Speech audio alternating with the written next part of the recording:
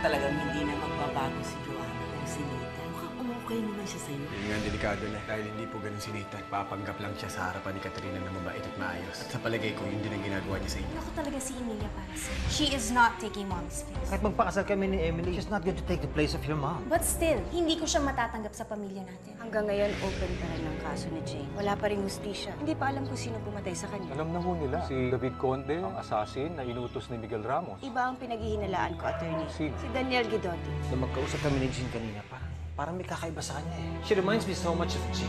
Di ba nakikita? Parang pananalita nila, pareho, may mga mannerism sila na iisa lang. Kahit sa pagkain, pareho silang paboritong pagkain. Naguguluhan ako eh. Hindi nga ako natatakasan. Kasunduan kami. Sabihin mo lang, naiintindihan mo. Kung hindi, babalikan kita. Baka hindi mo magustuhan ang gagawin ko sa'yo. Wala na po si Miguel, umalis na. Nakakatakot na to si Miguel ah. Madam, ano na pong gagawin natin ngayon? Kahit saan ka magtago, mahahanap pa rin kita, Margaret.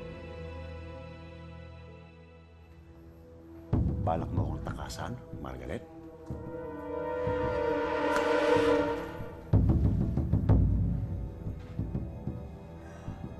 Ah, nag-uusap lang kami ni Kenneth. Pero, hindi. Hindi ko alis, Miguel. Don Miguel. Ano? Mula ngayon, Don Miguel na ang tawag mo sa akin. At ikaw naman, Kenneth, Senyor. Si, si, senyor. Ano? Margaret, ano nangyari? Ba't hinayaan mo ma-engage si na Emily at Marco? Masyadong mahirap ang hinihingi mo. Lalo na ngayon, hindi kami okay ni Marco. Hindi na siya nakikinig sa akin. Wala akong pakialam sa problema mo, Margaret. Ngayon, gawin mo yung sinasabi ko. Gawin mo yung inuutos ko. Kasi hindi lang ikaw sisingilin ko. Pati na rin ang buong pamilya mo.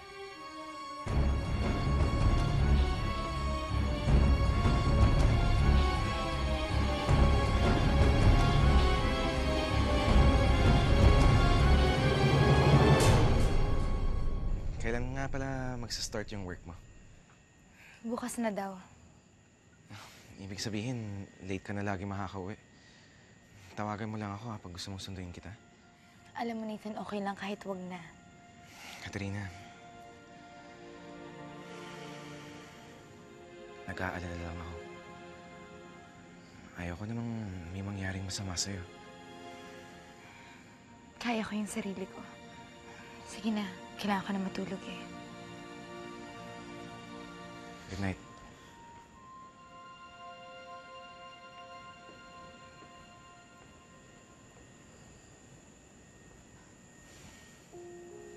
Nathan, alam kong mahal mo si Katerina.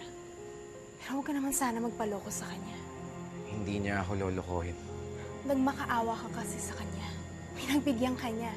Kaya yan tuloy, whatever she demands, kailangan mong ibigay. She sleeps in a different room, she refuses to make love to you. At doon pa siya nagtatrabaho kung nasan si Daniel. Anong klaseng asawa siya? Joanna, muntik na akong iwan ni Katerina. Mabuti nga na-convince ko siyang bumalik eh. Kaya gagawin ko at ibibigay ko sa kanya kahit na ano. Huwag lang niya ako iwan uli.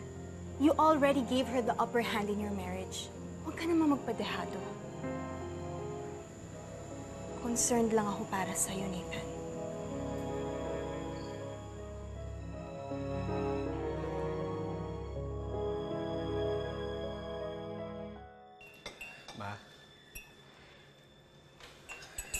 Pinuntahan ka ba ulit ni Nathan? Ah, hindi na anak. Pero naikwento ko kay Marco ang ginawa ni Nathan at tuwang-tuwa siya. Naisip niya mabuti naman daw yun at mukhang may isa sa mga anak niya ang tumatanggap sa akin. Ma, huwag po kayo nagpapaniwala ni Papa kay Nathan. Hindi mo ba talaga mong pagbibigyan si Nathan? Dahil niloloko niya lang kayo. At naniniwala ako na kaya niya ginagawa ang lahat ng to dahil may pinaplano siyang masama sa inyo. Seryoso ka, Daniel? Kaya mas mabuti pang pag-usapan niyo muna mabuti to ni Papa ang lahat bago kayo ikasal. Anak, alam mo ang lahat ng pinagdaanan namin ni Marco para lang makarating dito. Tapos ngayon hindi ko maintindihan, parang ginugulo mo na lahat. Bakit? Ikaw pa sa lahat ng tao?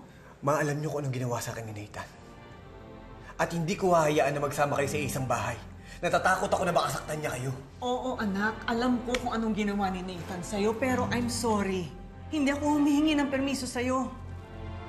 Pakakasalan ko si Marco. At sasama ako sa kanya kung saan niya akong gustong dalhin.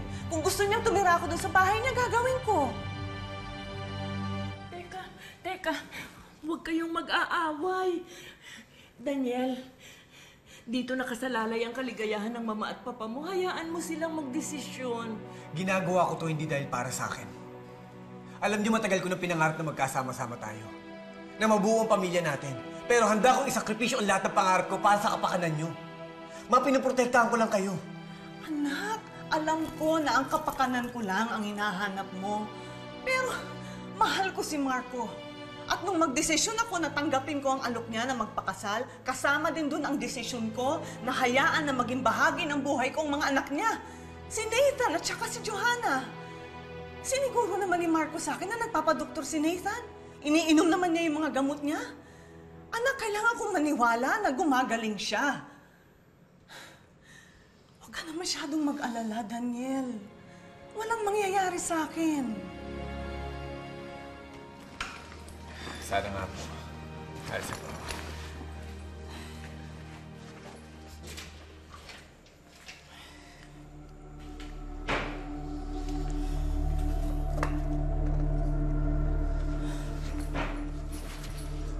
Daniel? May nagpadala na naman sa'yo? La, hindi po para sa akin. Para ko kay Mama. Ano? Para sa akin?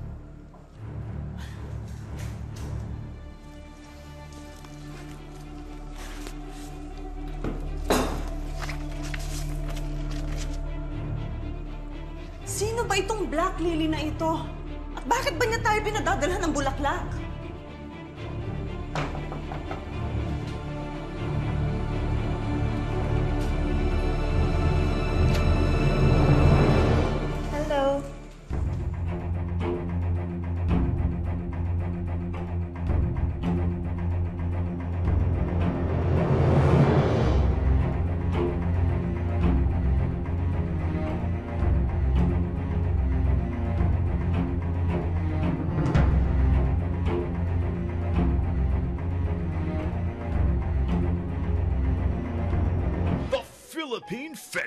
Phenomenon. Walang hanggan. Patuloy na namamayagpag sa TV ratings gabi-gabi.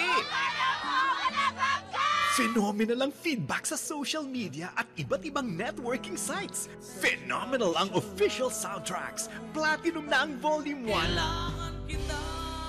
May Volume 2 pa. Dinudubog ang mga mall shows. Phenomenal award-winning cast. Paolo Argelino. And the ONC actor of the year is May special star studio at preview magazine pa! Binebenta na rin ang official walang hanggan infinity ring at necklace. Mag-log on sa www.abs-cbn.com para sa walang hanggan TV and get exclusive updates straight from the cast. Abangan din ang pagsabak ng ating mga bida sa Cinemalaya. At pinag-uusapan na ang malalaking pagbabagong dulot ng pagdating ng phenomenal actress, Yula Valdez. The Philippine Phenomenon. Walang hanggan. Nakaka-LSS na ang mga kantang handog ng nangungunang teleserye sa Primetime Bida. Kaya naman, sa lahat ng mga nakabanding namin sa Trinoma, walang hanggang pasasalamat kapamilya. May, may problema ba? Nakakastorbo ba ako? Ah, hindi, hindi. Ah, halika, tuloy ka. Wow! Ang ganda naman ito. May black flower pala. Real or artificial flower? Ah, hindi, totoo. Talagang may nagpadala sa akin. Para daw, kinokongratulate ako sa engagement ko. Pero hindi ko naman alam kung paano nila nalaman dahil hindi naman namin pinagsasabi kahit kanino. Eh, nasa dyaryo na. Hindi ba ikaw nagpa-publish ng wedding announcement, no? Hindi. Kung hindi ikaw, sino, sino gagawa nun? Dinalhan kita ng bridal magazines. Naku, salamat. Hindi ka na sana nag-abala, Jean. Sorry ha, medyo na-excite ako eh. I love weddings kasi. In fact, alam mo, pwede kitang tulungan sa preparations mo. Huwag naman, nakakahiya naman sa'yo. Alam kong busy-busy ka eh. Presidente ka ng bangko, di ba? Yun naman ang inam ng pagiging presidente. You know, I love my job, pero minsan nagiging boring na eh, almost routinary. Every day, ang kaharap ko, puro numbers, spreadsheets. Gusto ko naman ng outlet para sa artistic side ko. Ano bang type mo na mga na wedding gown? Ah, Jean, tatanungin ko sana sa'yo eh. Okay lang ba talaga sa'yo na pakakasalan ko yung asawa ng pinsan mo? Hindi ba masakit? Ba't naman ako masasaktan? Para kay Jane, sa mga anak niya. Inaamin ko. Asiwa kong iisipin. Pero wala na si Jane. Kailangan na mag-move on ng mga tao. Lalo na si Marco. At kung ang pag-iibigan ninyo ang paraan para makamove on siya, sino ba naman ako para pigilan siya?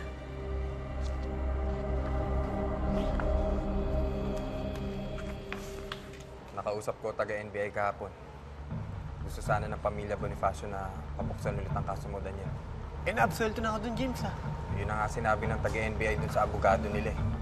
Bakit ayaw buksan ng NBI ang kaso nila kay Daniel? Dahil wala namang ebidensya na naglilink kay Daniel sa krimen. Anong gagawin ko? Ma'am Jean, baka panahon na para bitawan mo tong kaso. Hahayaan ko na lang makawala ang gumawa nito kay Jane. Hindi naman tumitigil ang mga NBI sa paghahanap kay Miguel. Sa akin lang, Ma'am Jean. Mas mabuti pa, you know, better move on. Isang taon na ang nakalipas. Bakit ba pilit na binabalik sa akin ng sisi? Naghahanap sila ng hustisya, Daniel. Hanggang ngayon, hindi pa nahuhuli si Miguel. Kaya binubunto nila lahat ng sisi sa'yo. Hindi ganun kadali yun, attorney. Buhay ang nawala dito. Buhay ni Jane. O pero buhay mo din na nakasalalay dito. Si, si Miguel, fugitive. Walang nakakaalam kung nasan siya. At pag natunugan ni Miguel na involved ka sa investigasyon na to, pati ikaw tatargetin niya. Kung hindi ikaw, pamilya mo. Hindi. Hindi nila pwedeng saktan ng pamilya ko.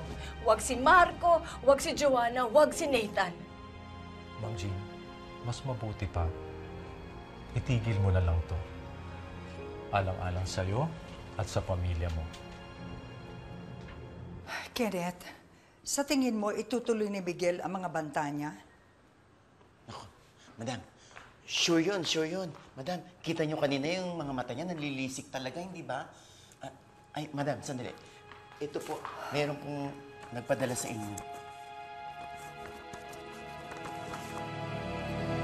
Diyos ko, Kenneth. Ay, naku, madam, hindi lang po yan. Ito po, meron pong pinadalang USB. Ito po, sinaksa ko na po, oh. Ito po ba yung pera? Dadagdagan ko kaya. Hindi sa nga siya nagbibiro. Una, Talagang ang tototohanin niya. Original copy Talagang hawak result. niya mga ebidensya laban sa akin. Wala akong choice, kundi sundin lahat ang inuutos niya. Ako, si Doña Margaret, naging utusan ni Miguel Ramos. O ma, nakabalik ka na pala from the States. Oo. At sana hindi na ako umalis. Dahil nung wala ako, doon ka gumawa ng pinakatangang bagay na pwede mong gawin ang mag-propose ng marriage kay Emily.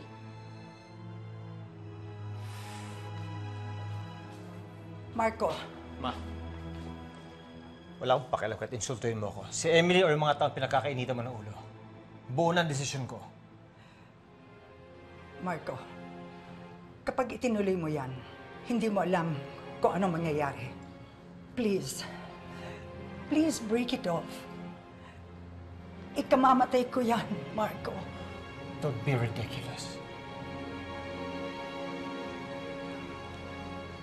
Marco, kapag itinuloy mo yan, may masamang mangyayari sa akin.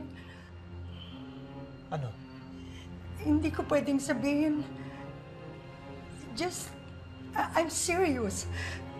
Just trust me. Trust you? Pagkatapos ng lahat ng ginawa mo sa akin, sasabihin mo, trust you? Ma, let me tell you this. Wala akong pakialam kahit hindi mo ibigay sa akin ng blessings mo. Kahit hindi ka matin sa kasal ko or kung magsakit-sakitan ka, wala akong pakialam, ma. Buo ng desisyon ko, pakakasal ako si Emily.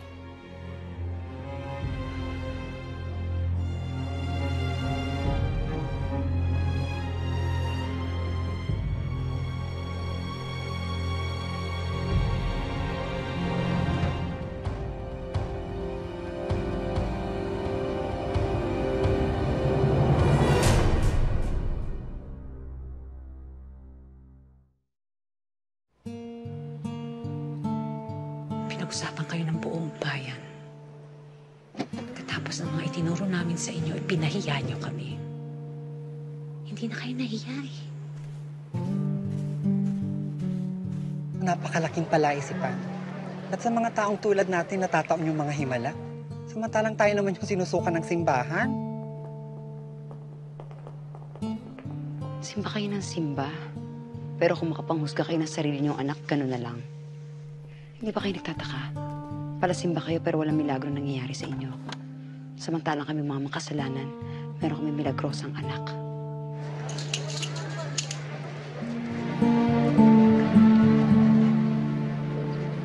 Kasampasa pa ba yung ginawa natin nun? Bakit? Kasalanan mo magmahal? Hindi naman napipigilan yun eh.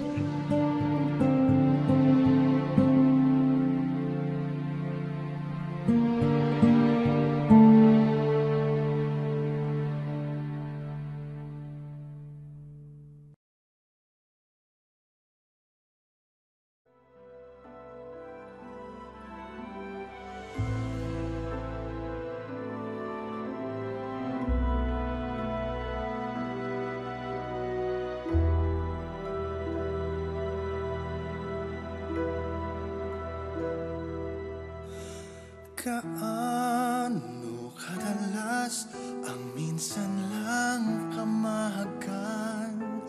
Sindalas na rin ng dami ng bituin Waring walang hanggan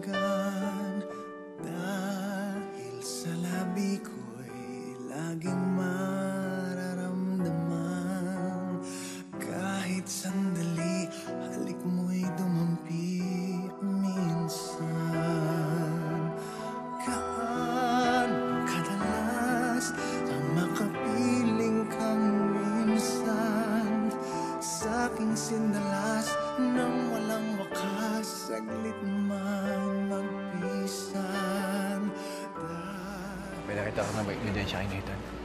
Wala pa, pero pumupunta naman siya sa mga sessions niya sa doktor eh. Iniinom na rin yung mga gamot niya. Mismo si Daddy yung nagbibigay ng gamot para hindi na mapalitan. Alam mo, sa tingin ko nga nagbabago na si Nathan eh. Katerina, naniniwala ka doon. Hindi ko alam. Ako alam ko kung ano totoo. Katerina, sa ginawa mo, parang tinulong mo lang ang sarili mo.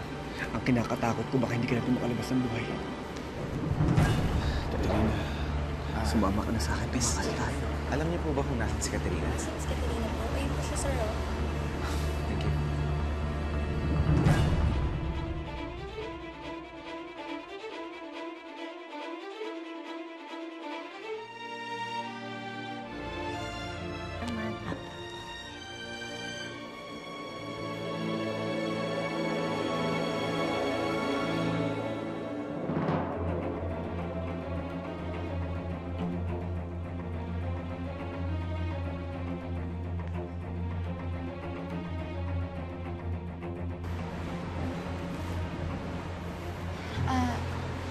Nag-uusap na kami ni Daniel. Alam ko. Ah, di pa ba tayo alis? Sige, kukunin ko na yung bago sa office. Sige.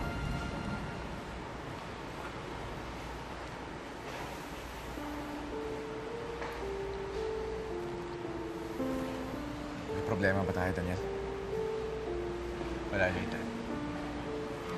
Kagaya nga sinabi ni Katerina, nag-uusap lang kami. Alam ko. Kaya nga hindi ako nagalit, di ba? Pero kapag nakita ko kayo ni Katerina nagkahalikan, o kaya naman magkapato, ibang usapan na yun. Alam mo, Nathan, hindi ko naman gagawin yun eh. Dahil kung hahalikan mo si Katrina, sisiguraduhin ko na hindi mo makikita. Tita! You're here! Yes. Um, mag-uusap kami ni Emily at ni Marco regarding wedding plans nila. Tutulungan ko sila sa mga arrangements. Ba't mo sila tinutulungan? Bakit naman hindi? Kaibigan ko na si Emily at si Marco. Pero, paano kayo? Ako? Anong ibig mo sabihin? Well, I was hoping that you and Dad would, you know, like each other. Joanna, hayaan na natin ang daddy mo. Mahal niya si Emily kahit noon pa. Hindi naman niya ako mapapansin eh. Dahil wala siyang ibang nakikita kundi si Emily. But things can change. There are ways for him to notice you. Biro lang. Hindi ko magagawa sa iyo, Nathan. Dapat lang, Daniel. Dahil asawa ko si Katerina. Akin siya. At hindi ako papayag na makuha mo siya sa akin. Alam mo, Nathan, hindi ko gagawin sa iyo. Malapit na kasal si Mama at si Papa. Gusto ko maging maayos ng lahat. Malapit na tayo magsama-sama sa isang bahay. Magkapatid tayo, Nathan. Tunay na magkapatid. Sa palagay ko, oras na siguro para tigilan natin lahat ng away. Magsimula na panibagong buhay.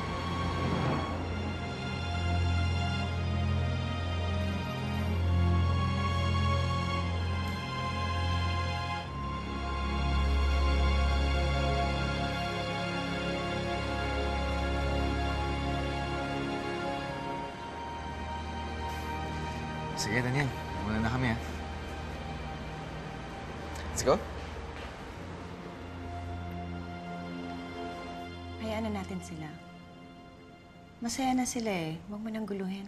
No, tita. Hindi ko sila titigilan hanggat hindi pa sila kasal. Makakahanap ako ng mga paraan para mapaghiwalay silang dalawa.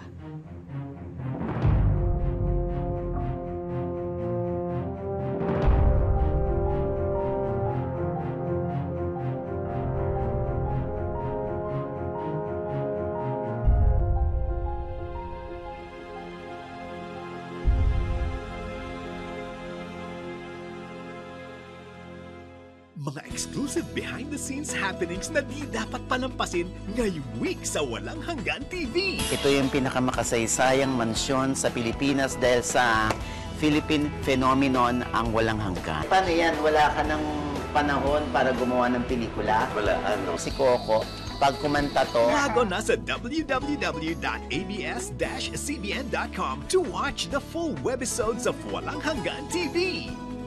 Nakaka-OMG ang galing! Nakaka-OMG ang dating! Kaya naman deserving na deserving ang ating Actor of the Year sa Yahoo OMG Awards 2012. Kayo po ang naggala ako natin. Ikinararangal ka namin, kapamilya. Mga mami at daddy, magaling bang kumanta at sumayaw ang anak mo tulad ni Sarah? Cute, bibang-biba, at pang best child performer ang acting tulad ni Cyril. Kuha mo. Eto ng chance niyang maging kapamilya Little Star. Kaya mag-audition na. Open to girls aged 6 to 9. Bring your audition material, close-up and whole body picture. At pumunta ngayong July 28 at 29 sa mga sumusunod na lugar. Manila, Davao, Cebu, Dagupan, Legazpi. Be a kapamilya Little Star sa ating ABS-CBN. Papunta kami sa bahay kasama si Jean. Para pag-usapan daw yung plano sa wedding. Tutulong si Ma'am Jean sa pagpaplano ng kasal ninyo? Bakit to? Eh, nag-alok siya kay Emily, pumayag naman siya. Para magkaibigan na sila eh. Bakit to pa? Hindi ba kayo kampante sa pagiging magkaibigan nila? Hindi naman sa ganun, kaya lang. Parang nag-aalangan dyan sa Jean na yan eh. Parang may iba sa kanya, wala ka ba napapansin?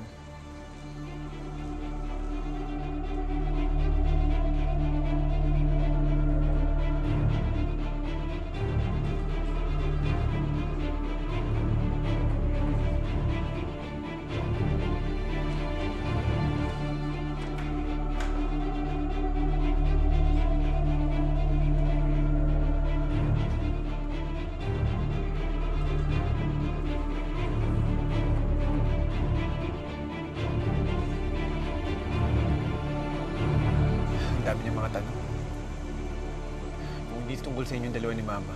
Tungkol naman sa amin nila Katerina at Nathan. Ayun na nga eh. Although sinasabi niya, matagal daw siya wala sa Pilipinas, sinaalam daw niya yung mga bagay-bagay dito, pero nag-aalangan pa rin ako sa kanya eh.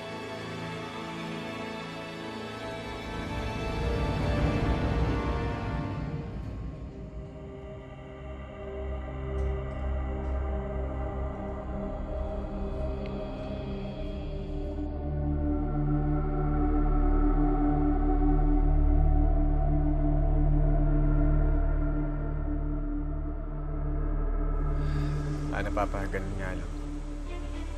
Sana wala naman siyang binabalak ng masama.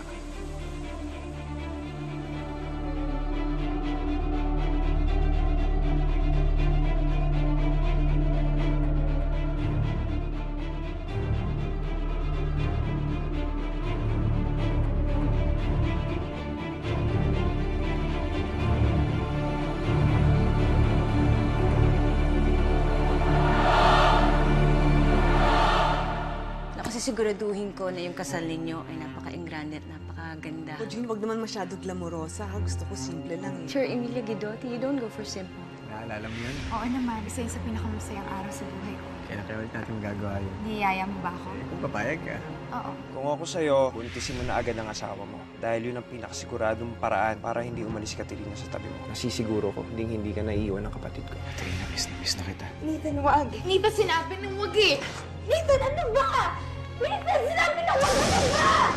Nathan! Nathan, ano ba? Katerina, parang hindi ko na kaya. Katerina, kailangan mo na mamili sa amin ni Nathan. Siya ba o ako?